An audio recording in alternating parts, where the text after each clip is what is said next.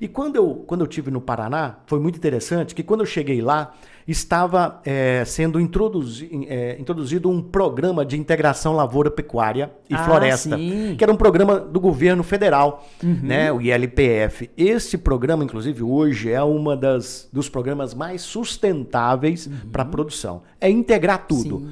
né? Agricultura, lavoura, é, né? A agricultura, lavoura é a mesma coisa, né? A lavoura, a pecuária e a floresta. Sim. Porque e aí intercalando isso dentro da sua propriedade é, é Mas fantástico. Qual a participação do mapa, do Ministério da Agricultura, em todo esse contexto? Sim, ele, ele, ele atua exatamente incentivando esse programa, né? De integração lavoura-pecuária. Mas ele, ele serve também estrutura ou apenas é, questão Não, técnica? Não, o, o, o mapa ele é responsável pela fiscalização, né? Orientação, Sim. nortes, né? normativas, né? E, a- e as políticas públicas do governo federal. É o mapa que faz a divulgação, Ah, sim, o incentivo, né?